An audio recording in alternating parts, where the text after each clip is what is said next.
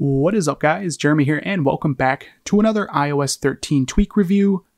We're taking a look at Assistability 13.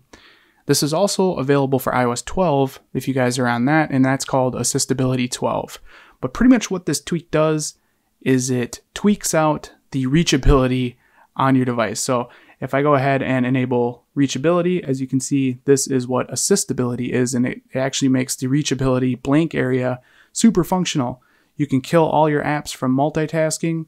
You can have favorite apps selected. You have a shortcut to Control Center, a shortcut to Siri. You can clear the UI cache of your device.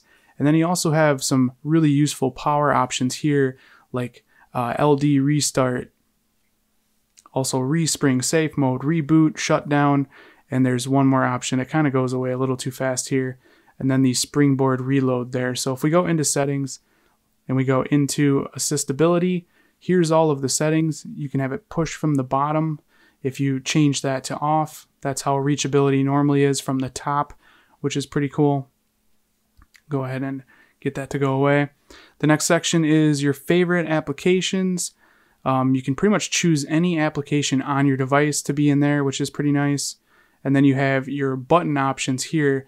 There are four button options that are within the uh, the menu here that you can customize to be whatever you want. So I have Control Center, Siri, UI Cache, and then Kill Applications, which will basically kill all my multitasking apps. But you can uh, choose any of these different buttons to be uh, in any place you want. It's fully customizable. You got Apple Pay, App Switcher, Control Center, Dark Mode, Home, Kill Apps, Lock Device, Notifications, Siri, and the UI Cache. And you can customize those any way you want.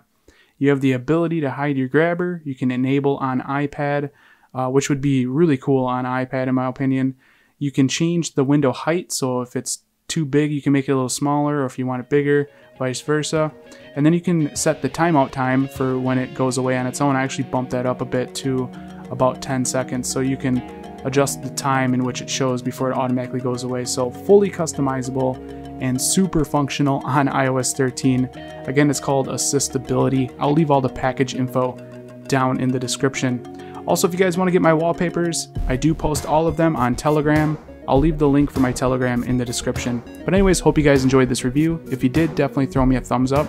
That helps me out a lot here at the channel. And if you guys want to see more videos like this in the future, don't forget to click that subscribe button. This has been Jeremy, and I will catch you guys in the next one. Later.